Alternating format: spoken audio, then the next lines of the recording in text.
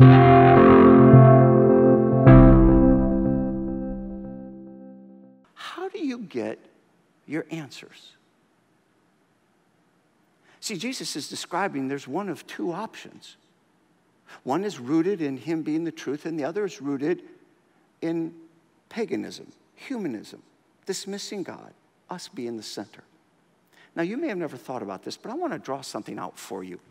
What, what, what he's really doing, and I'm, I'm going to extend it now, we're back at the drawing, I'm going to kind of extend it. It's kind of at the house level, the, the more superficial, if you will, and, and how the world tends to handle this. The world tends to teach us that you have to kind of be true to yourself. In fact, if you're a note taker and you want to do the whole long thing I'm going to do, then you can, or you can just follow along.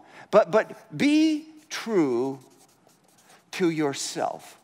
That's what, that's what the world tells us. If you're going to be true, if you're going to be authentic, if you're going to be, if you're going to be real, then you got to be true to yourself. But that it goes further than that. What, what it really means is, is, is what you're supposed to do. And what you're supposed to do is go inside yourself. See, if you want to find out what's true, the world tells us go inside yourself. You can't get the truth everywhere else. You got to get inside. Get inside.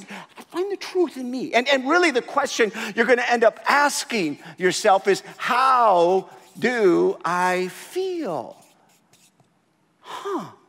Because I have an opinion, I have a thought, I have an expression, I have an emotion, I have a compulsion, I have an inclination.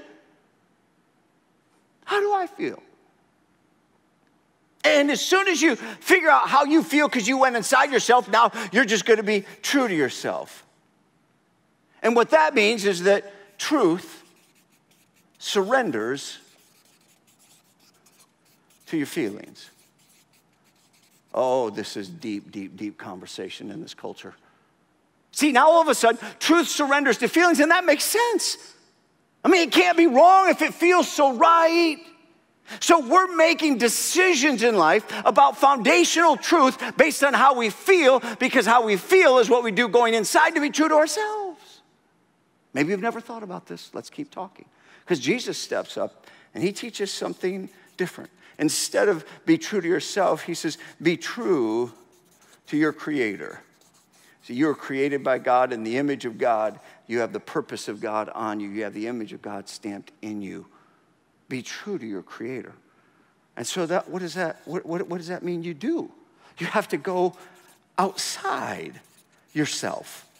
Well, of course you do, because you're not the creator, so you're gonna have to get outside yourself. You're gonna have to get beyond yourself. In fact, in a moment, I'll just take this a little bit further, and, and, and over here, I'll, I'll just give you illustration of what I mean by four reasons, or examples, not reasons, four examples of why you gotta get beyond yourself, outside yourself, in order to get the truth. And, and so, so what do you ask? Now, what you ask under this, what Jesus is teaching, is what does God say?